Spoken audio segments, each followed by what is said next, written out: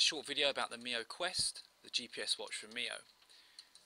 First thing you should do once you get the product is go to mioglobal.com forward slash quest to go to the product page.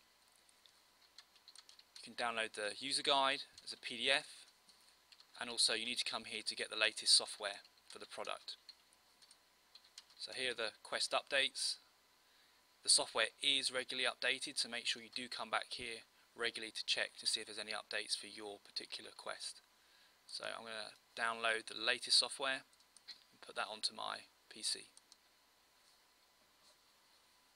It's just going to install now. Follow the steps through. And this will now install the correct software to your PC.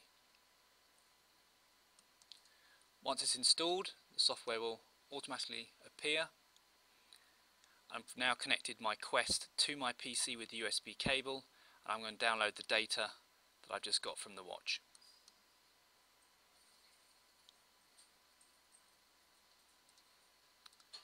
It gives me the option to delete the data from the watch if I want, if I want to keep some memory spare. I don't need to, so I'll press no. I just did a test walk, so there isn't a lot of data. I was only outside for a brief amount of time. But if I want to pull this across to map my run, I press the tab up here and this will open up Map My Run. It will ask me to log in.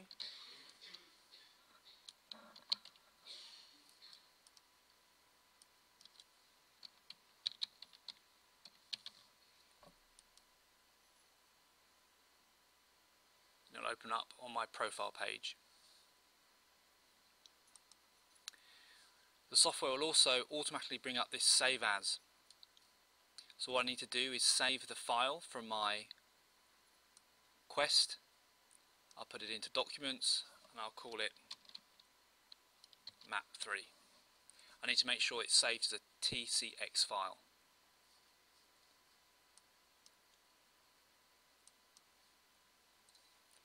I'll go back into Map My Run, sync my device, which is in the Workout tab, upload a file, it's inside my documents. Map 3. I also have map 1 and map 2 from previous walks.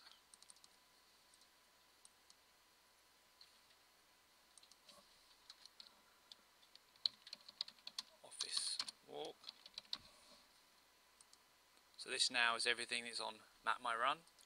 So you can title the walk, effort you put in, how you felt, all the, st the standard things from Map My Run. Save it.